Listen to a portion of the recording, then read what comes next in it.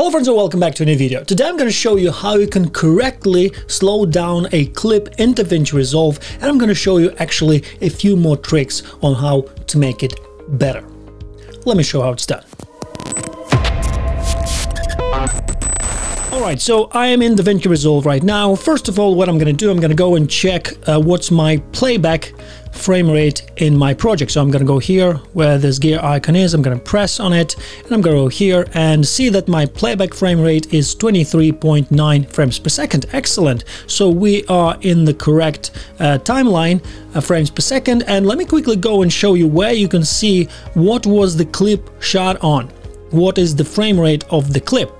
Okay, normally for a slow motion you would go and film it in at least 60 frames per second for a very nice slow-mo. But in my case, if you go to inspect over here, you see close to video on the right, uh, top uh, hand corner you're going to see file. If you press on file you're going to see here you'll see the video codec uh, the clip was shot on and the frame rate.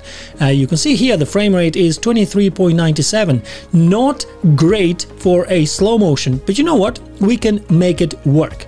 Okay so for this let's go and slow down this clip to about 40%. I wouldn't go lower than 40% because it's already a 24 frames per second a timeline, you know, and it's gonna look ugly, but there is a way on how to fix it. Okay, so let me show you how to slow down this clip. So first of all, go and click on the right click of your mouse, go to time controls, or just press Command R, all right?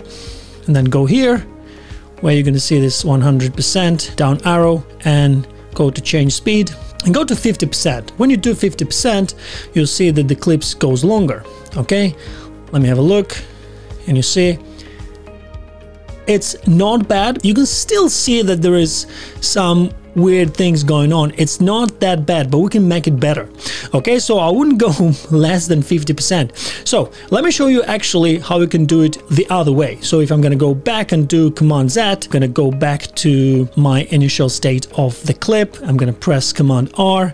And what is the cool thing about the second way to slow down a clip I'm going to show you now is that you will keep your um, length of the clip. Let me show you how it's done. So go to video over here, press on the video and go to speed change. You see, normally it's going to be like this. You have to go and press on it, speed change. So you see, now we can see that the clip speed is at 100% and the frames per second is 23.97. So if I go now and I do manually here, let's say 50% as before, we see that the clip uh, frames per second is going to be now 11.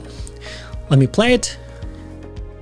So see, it's the same process like before, but the clip actually stays the same. The length of the clip stays the same. Imagine you have a hundred clips on your timeline and then you have to change something then when you will change something that it will affect the whole timeline.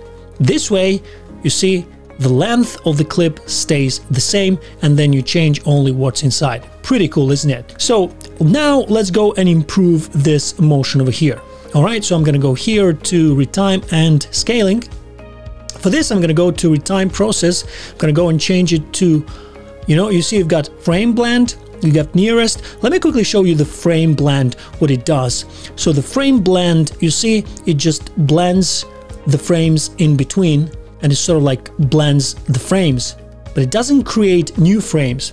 In order to create new frames, you have to go to optical flow. You see straight away, you see it looks much better. But optical flow normally has weird artifacts, you see? Can you see here? Just some weird pixels going on. Let me show you again in full screen. Can you see what I'm talking about? So in order to fix this, you have to go to motion estimation and go and press and click on speed warp. You can go and check enhanced better, enhanced faster, but speed warp is, you know, is the best actually, but it's going to be very, very uh, taxing on your computer. So you see, it's not even playing back smoothly. It doesn't matter what computer you have. I'm using an Apple Silicon M2 Max and it's still sort of like very, very slow. For this, what I'm going to do, I'm going to go to playback. Okay, go and click and render cache. I'm going to go and select smart. Now it's going to render and then it's going to play. It's gonna take a while. Normally it takes two, three, four, five minutes, uh, depending on how fast is your computer. But this actually saved me when I shot a wedding and accidentally I shot it on 23.9 frames per second and then I used this trick to slow it down and to have that nice slow motion and it really worked. And since then what I do, I set up my camera at 30 frames per second and now I shoot everything in 30 frames per second just in case I forget to film it in 60 frames per second, at least I have that leeway, you know, um, and not embarrass myself in front of the customers, in front of my clients. So this is what um, this is my advice to you. I do like the the motion blur of the 23.9 frames per second, but in this world, when you have to give the product or video or the highlight video for your clients after the wedding, you have to make sure that you have a very nice and smooth um, slow motion because this is what makes the it makes it beautiful when it's in slow motion. This is what is the wedding is about. Okay, so it's done. Now I'm gonna go at the beginning of the clip and just play it. Pretty cool so much better so so much better and this is it friends. Thanks so much for watching. I hope you found this video interesting and useful and you got some value out of it. And if you did please give it a thumbs up consider subscribing and i'll catch you guys in the next one. Happy creation